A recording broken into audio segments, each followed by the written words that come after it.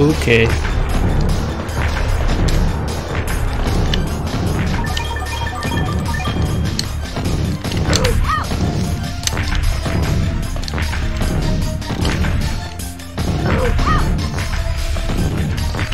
I'm pretty sure there's something up there.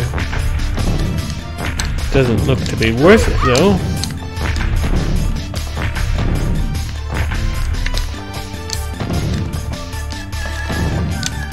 There's the gold gem.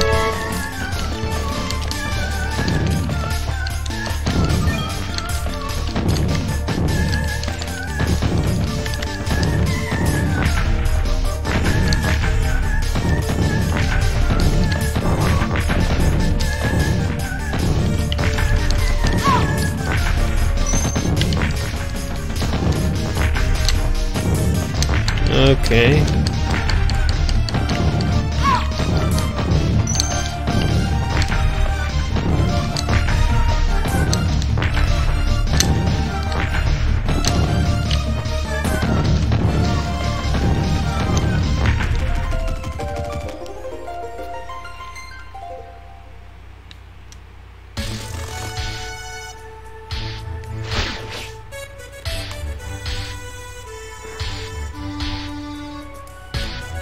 I believe there's